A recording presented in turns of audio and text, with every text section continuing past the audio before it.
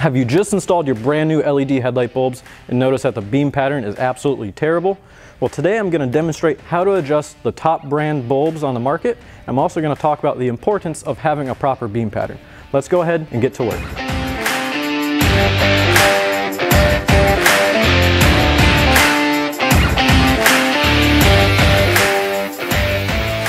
So let's first start with a halogen bulb.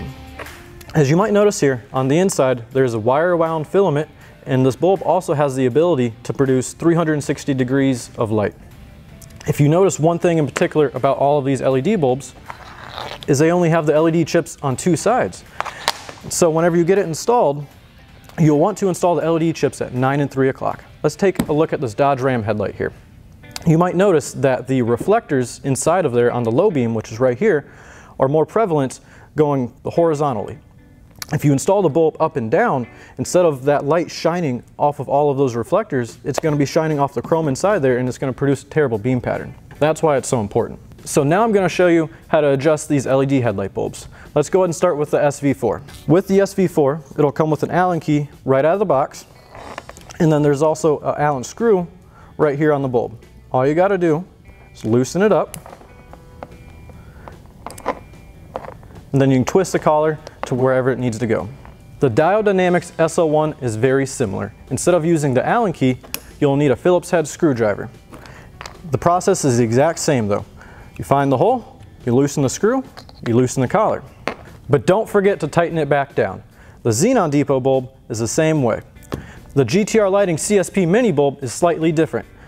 Still, we'll be using an Allen key, but instead of adjusting the collar, you'll be adjusting the bulb itself. As you can see here, it's fully 360 degrees clockable. Now my personal favorite is the Morimoto 2-stroke 2.0.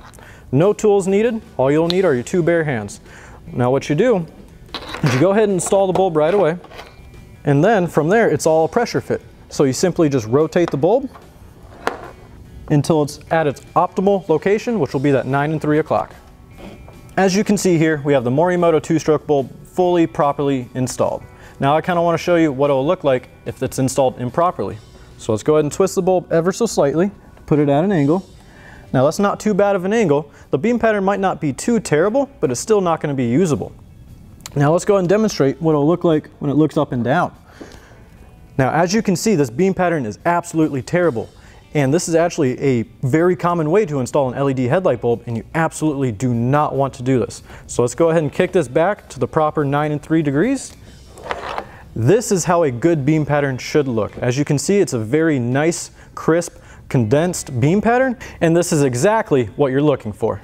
So now you know how to adjust your LED headlight bulb. Thank you so much for watching, and if you would like to see more installation videos or tech tips, don't forget to like or subscribe to our channel. Thank you so much.